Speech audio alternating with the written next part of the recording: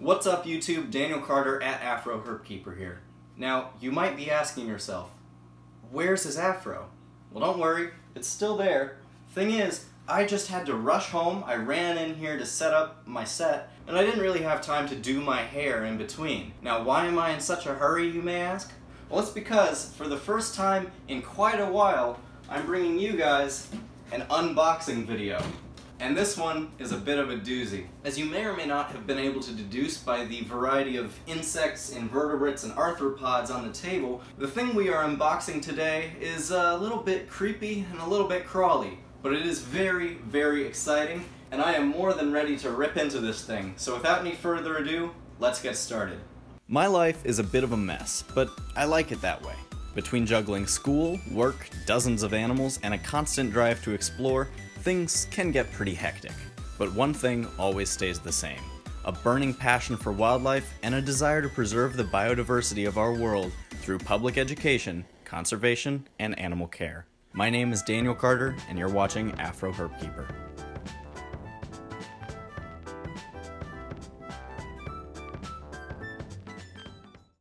Now before we actually get this box open, I gotta say a few things first.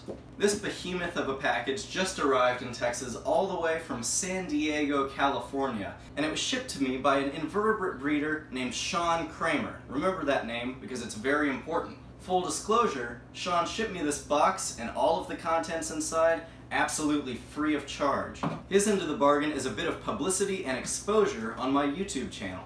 So Shawn himself, whose Facebook I'll put a link to in the video description, breeds a wide variety of invertebrates. We are talking just thousands and thousands of invertebrates at this guy's house, which honestly sounds pretty great to me. But the thing Shawn wants publicity for most is not his personal Facebook page. It's actually a Facebook group called US Invertebrate Auctions. Now this is a service that I've shown interest in and used before, and that's how I know Shawn. Now, I'm sorry to my international viewers, but the whole concept of the group is to provide a place where people can bid on auctions of invertebrates or supplies, anything in between, from reputable breeders and dealers in the United States. Anybody with a Facebook account can join the group, and I'll put a link to it in the description, but if you're looking for cockroaches, tarantulas, centipedes, praying mantises, really almost any invertebrate or invertebrate related supply you could think of, this is definitely your place to go. Not only do you know you are getting the healthiest animals possible, you're directly benefiting these breeders and allowing them to continue their production. So, now that that's out of the way, we have a massive box to unpack. I'm really hopeful that everything made it here okay. Uh, this box unfortunately could not be shipped overnight, so we did the next best thing and it got here in two days. Thankfully, since these are invertebrates, they should be pretty hardy, and uh, most, if not all of them, will have survived the trip unscathed. Let's uh, get the first cut in here. Yes.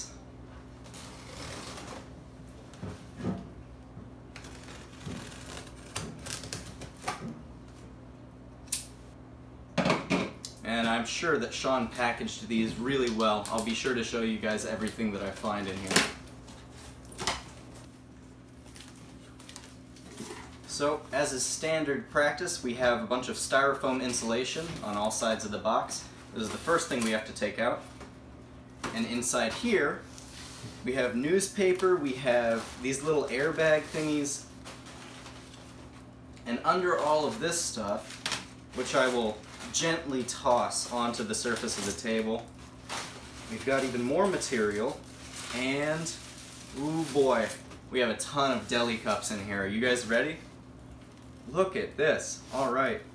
So we're gonna go through these one by one and make sure everybody's okay. I'm gonna set the box on the floor and start taking cups out.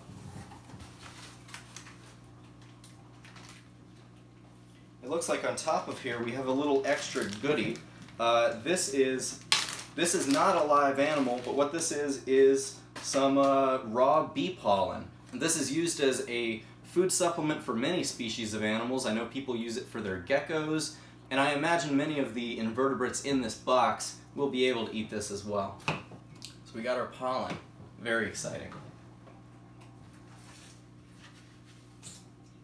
Right here Ooh, my goodness. So the first thing we're unboxing is a species of cockroach. Now if you're squeamish about roaches at all, I hope to change that, and I'm very sorry because most of the contents in this box are gonna be cockroaches. However, these are not your standard kitchen variety cockroaches. This is a species, I'm looking off the side of the screen because I wrote it down. This is a species called uh, Eublaberus species ivory. These are ivory head cockroaches. And there should be about 10 of them in here. Oh, beautiful. Now you look at this cockroach and you tell me that looks like a standard kitchen roach to you. That is absolutely gorgeous. I'm gonna have to get so many close-up shots of these things in post. Fantastic. So there are supposed to be 10 of these in here, and all of the cockroaches in these boxes uh, will be put into breeding colonies. I will be trying to produce as many of them as I can. Their primary purpose will be as feeders for my other animals, but what I'll also be doing with them is breeding them and selling groups of them either at expos or online. These are just the prettiest cockroaches. Um, you can see where they get their ivory namesake, and on their carapaces above their wings, they've got this almost butterfly-like pattern. Nice jump, buddy. So these guys are going to go back into their cup. We're going to seal that up until we get their colony ready. And there are lots of babies in here too, it looks like. So we have our ivory roaches and we have our bee pollen. Next, ooh, lovely we have a 10 count uh, Eurycotis decipiens. These, these are also cockroaches, and these are most commonly referred to as zebra roaches. These ones are significantly smaller than our ivory head roaches. Whew, very nice. These are all nymphs, I believe. They're pretty small. This is a small Costa Rican species of cockroach. They're good at climbing, and they're very colorful, which makes them great feeders for geckos, for chameleons, uh, for any arboreal animal that's going to like a very visible food item. So these guys are going to go back in here,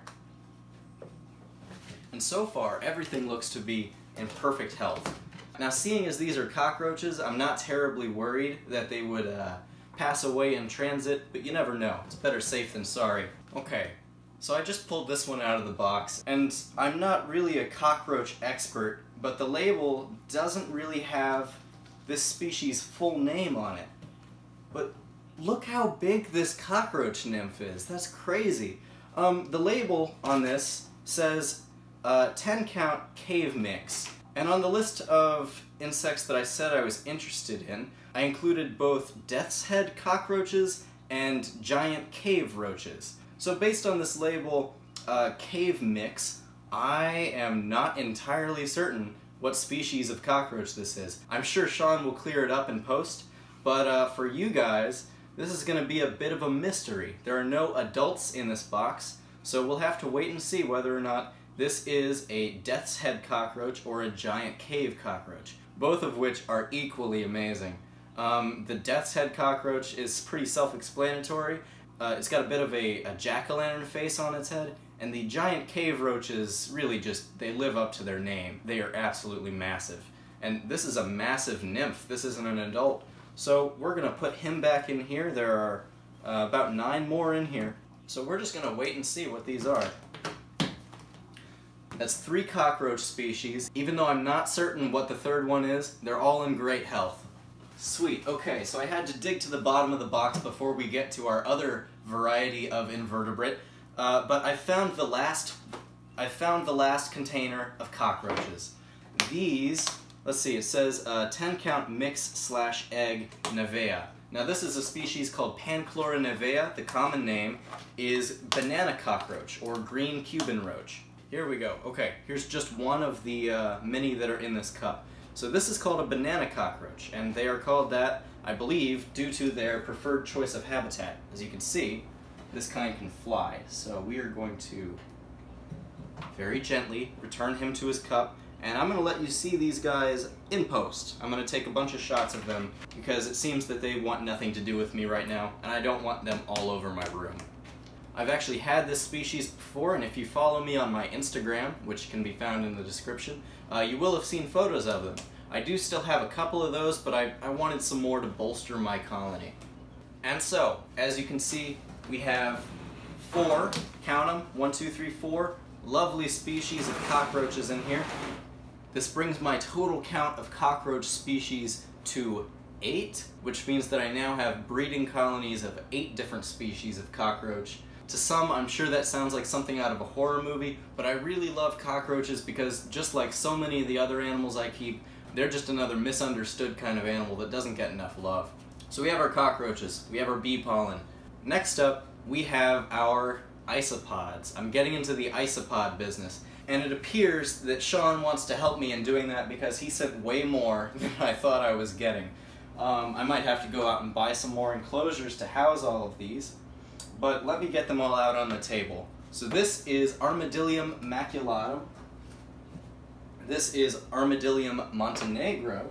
I wasn't actually expecting four of these containers, so I had to get up and uh, do some researching on scientific names. But uh, in here we have Porcellio capensis, and it's a variety called party mix, which just means that it's a mixture of uh, morphs and different genotypes. In here we have 12 uh, Porcellio sevilla, uh, Seville isopods. He says this one's a bonus, I wasn't expecting three of the others. Um, these are Porcellio laevis, or giant orange isopods. Very cool. So the deal with isopods is, I mean, obviously every kid loves a roly-poly, but they also make for excellent cleanup crew in bioactive enclosures. If you throw the right species of isopod in with your reptiles or amphibians, they will go in and eat the waste, dead plant material. They'll basically, true to their nickname, keep the enclosure clean. And so now I have five species of isopod, in addition to the native species, Armadillium vulgare, which I already have plenty of. So uh, let's start with our little isopods and move our way up to the Armadillium species. These are the Porcellio laevis, giant orange isopods. It took me a second to actually get this container open. Let me make sure these guys survived the transit. Isopods are much uh, more fragile than cockroaches. I do see some springtails in here, which are another uh, very important part of a cleanup crew. There's one. Okay. Oh, yeah, they're all showing up. These are huge. These are way larger than I expected. Oh, man. I've never seen this species in person. It is much larger than I thought it would be. That is such a cool animal. Now, um, isopods and roly-polies and woodlice, all those animals, they're actually not insects. They are all crustaceans which even though they live on land, it means that they are more closely related to uh, lobsters and crabs than they are to insects. So we're going to put the cap on these giant orange isopods. Really lovely little species. I'm certainly not complaining that Shawn sent me extras. I just wasn't expecting some of these. So Porcellio sevilla. These ones are all out on top. So if we get this one open, lovely. Okay, these look like um, the woodlice native to where I live, but they are much larger and they have a beautiful white fringe around the side. Shortly I will have all these guys set up in proper enclosures. I'm sure when it gets to that, I will be uh, filming a setup guide as I go along. So we have our uh, Porcellio sevilla and our Porcellio laevis, giant orange. Um, here are our Porcellio capensis, or our Party Mix isopods. I did see one of these in here earlier, but I might have to dig for them. Oh, they're all in here. Oh my goodness. Quite a few. So in here, looks like we've got some orange ones, some white ones, uh, some with a couple polka dots on them. It looks like they're doing well on their little paper towel. These are just tiny. These are certainly small enough to go unnoticed by most uh, animals that you would need a cleanup crew for. Now, the last two here are our Armadillium species. We have Armadillium montenegro and Armadillium maculatum. These are Montenegro isopods and these are uh, zebra isopods. And uh, they look pretty similar to how they sound. So I think we're going to open the zebra isopods first, make sure they're doing all right. I didn't see any of them on the surface, but I imagine they're just fine in here. Everybody else has been so far. Here's one. That is just the coolest thing. Um, hey, I should stress, isopods are really hard to package and ship. Um, lots of people have horror stories about them not arriving alive, and I think that's really a testament to Shawn's packaging skills. Another reason to go look him and the US invertebrate auction up if you're in the market for some new invertebrates or isopods. Oh yeah, here they are. Check those out. Fantastic. They look just like the ones I have outside on the sidewalk, but they are, uh, they're zebras. So that's pretty cool. Um, our last species here, Armadillium montenegro. Now I should make the distinction, all of these containers actually say 10 plus 2 as opposed to 10 count like I thought. So that means that he sent me uh, approximately 12 of every species, and then a few of them had eggs in here as well. So, Armadillium montenegro, these are commonly called clown isopods. Ooh. Oh, that one's lovely. So these guys are covered in three little rows of spots. They have some yellow spots up front, and then the rest are uh, white or a much lighter color. I understand that these are obviously much smaller, maybe much less exciting to some than reptiles and amphibians, but they are just the coolest little critters. Isopods, obviously, get their common name of uh, roly-poly by rolling up into a ball to uh, deter and defend themselves from predators. Now these ones, I assume because they're captive bred, are pretty hesitant to do that, but I have no problem with that. Just makes them even cooler. So, we're putting the cap back on our clown isopods. And one last time, let's go over everything that was in this box. We have our clown isopods. We have our zebra isopods. We have our party mix isopods. We have our Sevilla isopods, and we have our giant orange isopods. We have five species of isopods. Um, we also have some bee pollen, not to be forgotten, and we have our banana cockroaches, our mystery cave mix cockroaches, our ivory head cockroaches, and our zebra cockroaches. We have a lot of bugs on the table, folks. I'm going to be spending the rest of this evening setting up their enclosures. I really should have done that beforehand, but I wanted to film it for you guys, just to provide some extra content about these fellas. So, we have nine species of cockroaches and isopods on the table here, I didn't find a single one that passed away during shipping.